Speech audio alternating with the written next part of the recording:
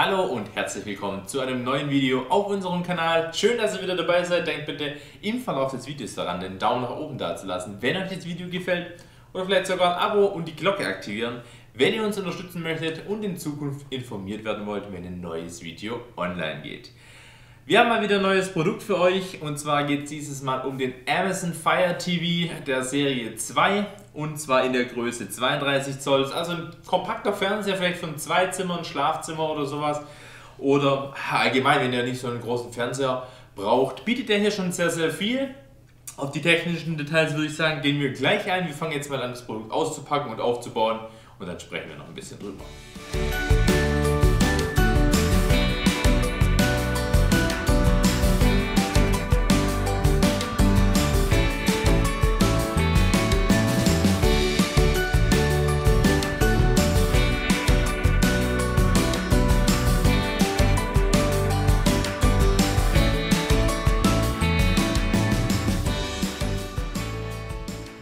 Fernseher steht jetzt hier mal auf dem Tisch, noch so halb eingepackt. Man braucht die Füße hier gleich, wenn man ihn ähm, auf die Füße stellen möchte. Ansonsten hat der Fernseher auch eine WESA-Aufnahme hinten. Könnt ihr also äh, mit einer kompatiblen Halterung auch an die Wand machen. Äh, ansonsten ist er echt angenehm zum Greifen, muss man sagen, weil er hinten so eine Einwölbung hat, also ziemlich gut rauszunehmen. Ähm, die Füße sind komplett aus Kunststoff. Haben hier unten so kleine Gummifüße dran, also ja, nichts Besonderes sollte den Fernseher halten. Haben wir noch ein bisschen mehr an Zubehör. Eine Anleitung, wichtige Informationen, Energieausweis, eine Fernbedienung, Schrauben für die Füße, Batterien zu der Fernbedienung und noch dieses Adapterkabel. Schon mal positiv, dass hier zwei Batterien für die Fernbedienung dabei sind. Ist ja heutzutage auch nicht mehr äh, selbstverständlich. Äh, ja, die Fernbedienung. Es ist nichts Besonderes, eine kleine schicke Fernbedienung. Wenn euch das im Detail interessiert, allgemein, schaut gerne am Ende des Videos ins Produktvideo, da filmen wir alles nochmal etwas genauer ab. Genau, hier unten kommen dann die Batterien rein, zwei Stück an der Zahl, AAA. Und dann wird das hier drauf geschoben und dann ist fertig. Die Fernbedienung hat auch Alexa-Unterstützung, ist ja auch ein Amazon-Produkt. Ähm, könnt ihr also ganz normal mit Alexa verwenden. So, dann würde ich sagen, bauen wir das Ganze mal zusammen. Äh, zur Montage soll der Monitor in der Folie auf den Tisch gelegt werden, auf die Displayfläche. Hat ja auch einen relativ äh, ausstehenden Rand, da dürfte dem Display also nichts passieren. Am besten noch eine Tischdecke drunter und danach schauen wir uns mal die Anschlüsse an.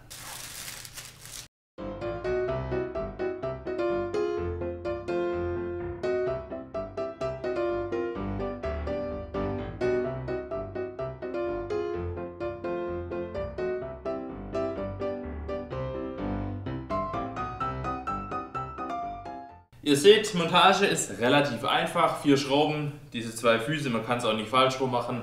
Ähm, da gibt es nicht viel zu beachten. Es ist Kunststoff, daher die Schrauben nicht ganz so anknallen vielleicht, aber ja, ging jetzt relativ flott.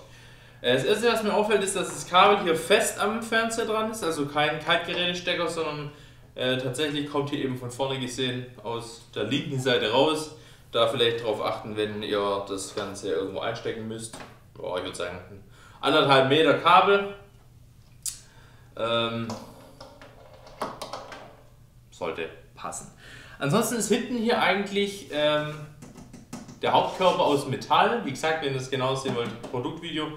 Dieser Aufsatz hier hinten ist aber alles Kunststoff. Ja, aber wie gesagt, für den Preis in Ordnung. Ansonsten finde ich das Design eigentlich recht schlicht. Hier alles in Hochglanz, jetzt nicht besonders modern oder edel, einfach so typischer Fernseher, würde ich sagen ähm, in der 32 Zoll Größe. Da gehen wir mal durch die Anschlüsse. Es fängt hier oben an mit einem optischen Eingang, einem LAN-Anschluss, USB 2.0 mit maximal 500 mA, ein Satellitenanschluss, ein Kabelanschluss, HDMI 1, 2 und 3 mit E-Arc, kann also auch einen Soundbar oder sowas mit ansteuern, äh, einen IR-Emitter, Mini-AV-In und ein CI-Slot Modul Gedöns, wo ihr eben so eine Sky-Karte oder sowas einschieben könntet. Es ist also alles an Bord anschlusstechnisch, was man eigentlich so braucht. Ähm, Einschaltknopf ist übrigens hier unten in der Mitte unter diesem Fire TV äh, Logo. Und das ist auch das einzige Steuerelement, das man jetzt hier so direkt am Fernseher hat. Der Fernseher ist eingesteckt. Ich schnappe mal die Fernbedienung und wir drücken hier einfach mal auf Power On. Nebenbei immer mal wieder so ein paar technische Details. Ähm, wenn ich jetzt so nah dran sitze, sehe ich gleich. Äh, die Auflösung von diesem 32 Zoll Modell beträgt 720p. Ist also HD ready, kein Full HD. Ähm, für die Bildschirmdiagonale würde ich mal sagen, weil es ja wahrscheinlich auch ein bisschen entfernt sitzt, reicht es. Wenn man das 40 Zoll Modell kauft, da vielleicht an der Stelle gleich mal der Hinweis, es gibt genau das gleiche, noch eine Größe größer, Größe größer, in 40 Zoll. Äh, da habt ihr dann tatsächlich auch eine Full HD Auflösung.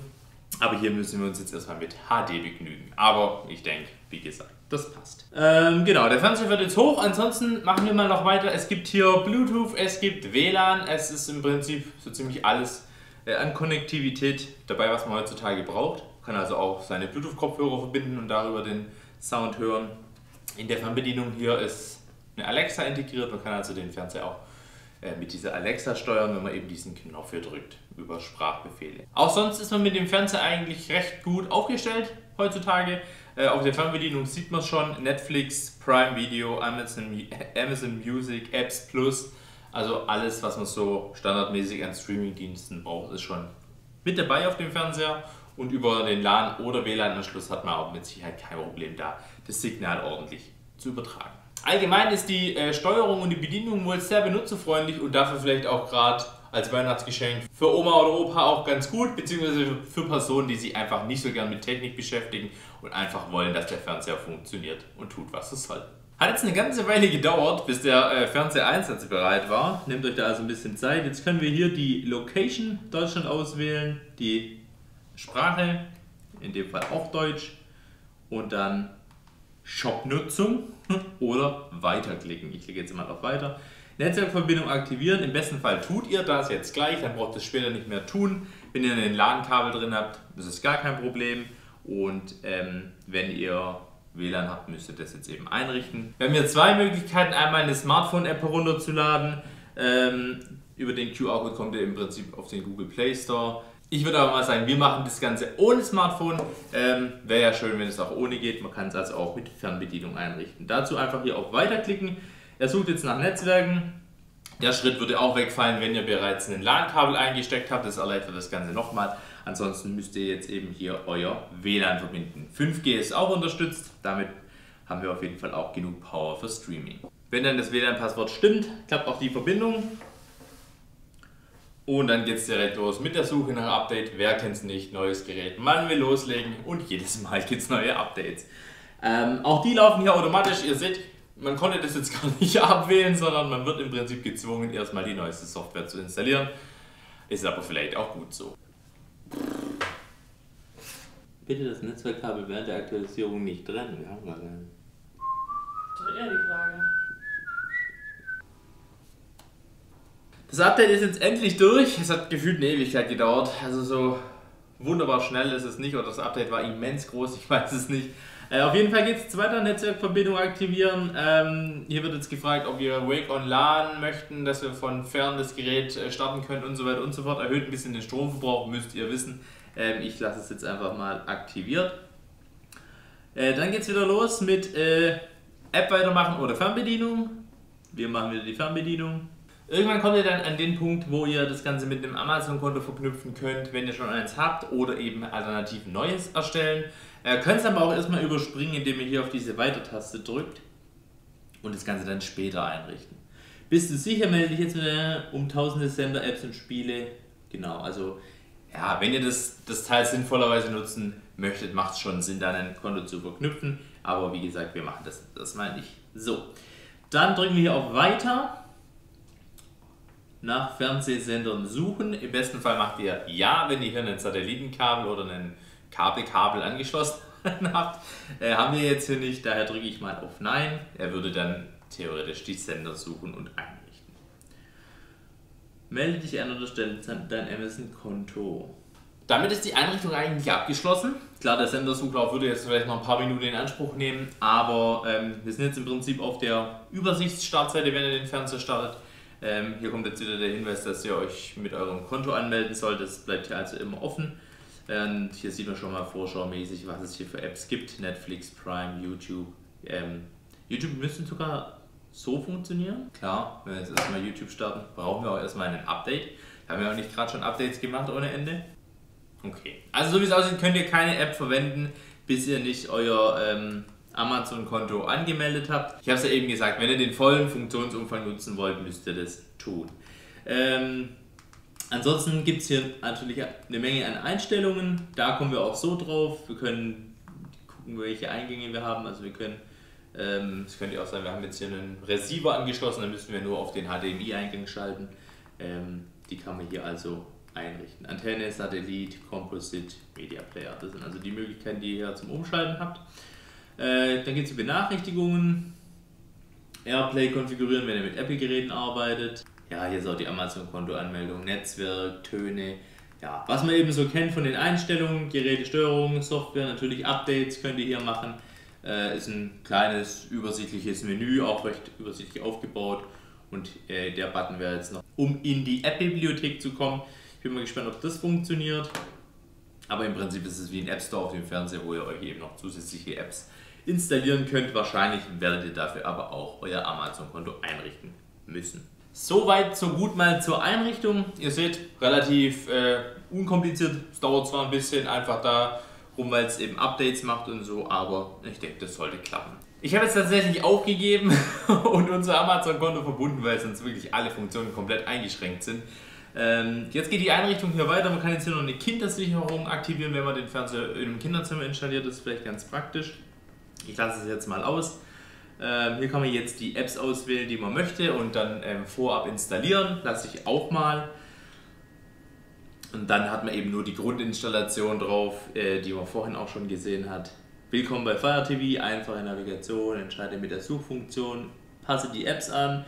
Ja, hier gibt es so ein paar kleine Tipps, ähm, die man einfach durchlesen kann. Und dann kann man hier auf Verstanden klicken und die Amazon-Konto-Einrichtung dürfte auch abgeschlossen sein. Also wie gesagt, auch das hier definitiv ähm, kein Hexenwerk. So, man landet hier direkt in Amazon Prime Video im Hintergrund. Kann man also Videoinhalte anschauen, wenn man möchte. Und jetzt kommen wir hier auch in die Apps rein. Freebie ist inzwischen auch installiert. App Store.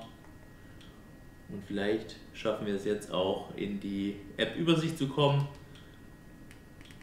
Also hier kann man dann einstellen, in welcher Reihenfolge das Ganze ähm, hier auf dem Startscreen eingeblendet werden soll. So, äh, hier gibt es dann auch die App App Store jetzt und hier kann man sich jetzt äh, alle möglichen Apps runterladen, die man sonst noch so benötigt. Twitch, Kicker, Apple TV, ja, RTL Plus, Join, Paramount Plus. Also eigentlich alles, was es so gibt, Disney Plus und was man so benötigt. Da ist eigentlich wirklich sehr umfangreich. Ja, man hat also hier oben immer so ein paar Inhaltsvorschläge, auch über verschiedene Apps hinweg. Man kann hier eine Suche starten. Da wäre jetzt vielleicht ganz interessant, ob man hier sucht ähm, über alle Apps hinweg. Okay, also man kann ja separat auswählen, ob man in einer bestimmten App suchen möchte. Hier sind andere Suchvorschläge ähnliche Ergebnisse, ähnliche Ergebnisse. Er hat also nichts gefunden. Also so wie es aussieht, priorisiert er natürlich mal ähm, äh, das Amazon Prime Video. Vielleicht suchen wir mal noch nach einem Begriff, den es tatsächlich öfters gibt. Okay, ich habe jetzt mal nach Star Wars gesucht. Er findet jetzt hier Ashoka auf Disney Plus. Sieht man hier unten, da steht Disney Plus, ganz klein, ist ein bisschen schlecht zu erkennen. Und dann findet er noch die ganzen alten Star Wars Filme, ist aber jetzt für mich nicht erkenntlich, auf welchem Portal. Also ist ein bisschen komisch, ich klicke jetzt einfach mal eins an und bin mal gespannt, wo er das öffnet. Ah, okay, also er sucht, wie gesagt, priorisiert auf Amazon Prime, wie es aussieht. Vielleicht springt er ja hier. Genau, ansehen mit Disney Plus App öffnen. Also äh, irgendwie, die Suche ist nicht ganz hundertprozentig. Hier gibt es zwar ein paar Ergebnisse, aber es gibt ja noch deutlich mehr Inhalte, deshalb verstehe ich es jetzt nicht so ganz ja, so wie es aussieht, schaut da lieber in den Apps selber, wenn ihr was Bestimmtes sucht und verlasst euch hier nicht auf diese ähm, übergreifende Suche. Dann versuchen wir mal noch Alexa. Ähm, man muss hier auf, diesem, auf dieser Taste draufbleiben, bis man fertig ist mit dem Sprachbefehl. Alexa, such auf YouTube nach dem Kanal Depari. Wird von YouTube abgerufen. Und dann eben loslassen, äh, wenn man fertig ist. Ähm, hier sieht man jetzt, es versucht die YouTube-App zu öffnen, ist aber noch nicht installiert, schlägt hier aber direkt vor, YouTube herunterzuladen und zu installieren. Das tut er dann auch. Du hast eine App, es gibt verschiedene Möglichkeiten, die App zu öffnen. Genau, also man kann über Alexa die App öffnen oder eben über das Hauptmenü. Das wird hier jetzt kurz erklärt. Dann ist es installiert. Wir können sie direkt öffnen. Und wahrscheinlich wage ich zu behaupten, dass meine Suche jetzt nicht übernommen wurde. Doch, tatsächlich. Also er hat jetzt hier oben nach Depari Kanal gesucht. Zwar mit 2R, aber sei mal dahingestellt. Die ähm, Suchergebnisse sind auf jeden Fall perfekt. Sind beide unsere Kanäle hier gefunden worden und auch verschiedene Videos von unseren Kanälen. Was wir jetzt mal noch kurz testen können, unabhängig vom Amazon-Konto, wäre eigentlich Airplay. Also wenn ihr jetzt direkt von eurem Handy was auf dem Gerät abspielen wollen würdet. Ah, Airplay scheint zumindest zu funktionieren. Komischer Name, aber er schlägt es mir auf jeden Fall mal vor. Airplay verbunden mit Gerät. Okay, so. Schauen wir mal, ob wir zumindest in ein YouTube-Video über das Handy abspielen können. Das scheint zu funktionieren.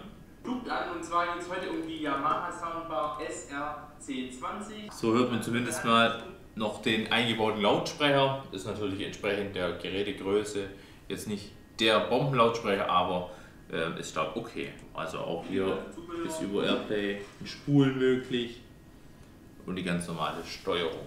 Äh, so haben wir jetzt zumindest auch mal noch ein bisschen was an Bild.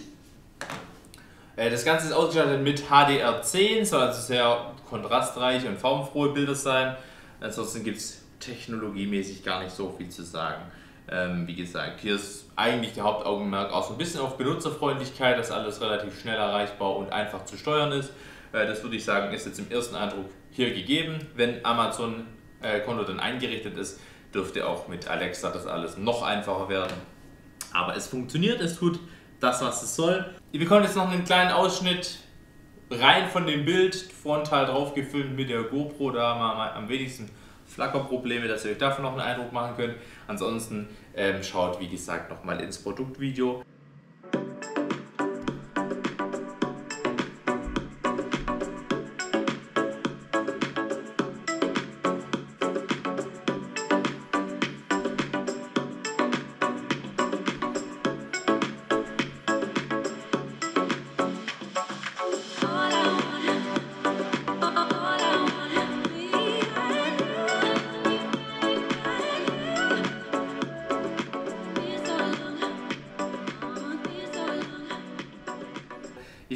Wir soweit auch durch. Vielleicht noch eine kleine Zusammenfassung. Das Design ist jetzt nichts Besonderes, aber sieht ganz gut aus. Ähm, Hauptgehäuse Metall, hinten ein bisschen Kunststoff, hier Hochglanz, ist ein bisschen Geschmackssache. Bildschirm ist HD, die größte Variante würde es auch in Full HD geben. Und wir haben HDR10, also sehr kontrastreiche Bilder. Einrichtung ging flott von der Hand, war kein Problem, keine großen Hürden beide Netzwerkmöglichkeiten verfügbar. Ähm, auch da gibt es eigentlich nichts dran auszusetzen. Ähm, der größte positive Faktor an diesem Fernseher ist eigentlich der Preis, denn wenn ihr bei einem Prime Day oder bei irgendeinem Angebot einkauft, so wie der Erwerber dieses Fernsehs, äh, könnt ihr da sehr viel Geld sparen. Äh, dieses Gerät wurde für 150 Euro erworben und ich glaube, das ist für einen Fernseher in der Klasse mit dem Funktionsumfang, mit der Benutzerfreundlichkeit in dieser Größe ein wirklich wirklich attraktiver Preis. Ähm, Im UVP kostet das Ganze ein bisschen mehr, da kostet nämlich 280 Euro. Daher achtet auf jeden Fall bei Amazon immer auf die Angebote. Das lohnt sich da meistens richtig. Das sind eben gerade diese Amazon eigenen Produkte extrem krass reduziert. Äh, für einen kleinen Aufpreis bekommt ihr das Ganze hier dann noch in 40 Zoll, also ein bisschen größer mit, wie gesagt, Full HD Auflösung. Wenn ihr also nach einem Fernseher sucht, der ein klein wenig größer ist, wäre das vielleicht auch eine Option. Kostet dann auch ein bisschen mehr, ist aber nicht die Welt. Ich glaube, das sind 40, 50 Euro Unterschied. Das ist also wirklich nicht der Rede wert. Ansonsten, der Standfuß tut, was er soll. Es gibt aber auch die Möglichkeit, das Ganze aufzuhängen. Äh, wenn ihr noch Fragen jetzt zu dem Produkt habt, stellt die sehr gerne wie immer in die Kommentare. Wir werden so gut wie möglich alles beantworten. Ich bedanke mich fürs Zuschauen, hoffe ihr hattet ein bisschen Spaß bei dem Video und ähm, wir sehen uns in einem der kommenden oder vergangenen Videos wieder. Macht's gut und bis zum nächsten Mal. Tschüss!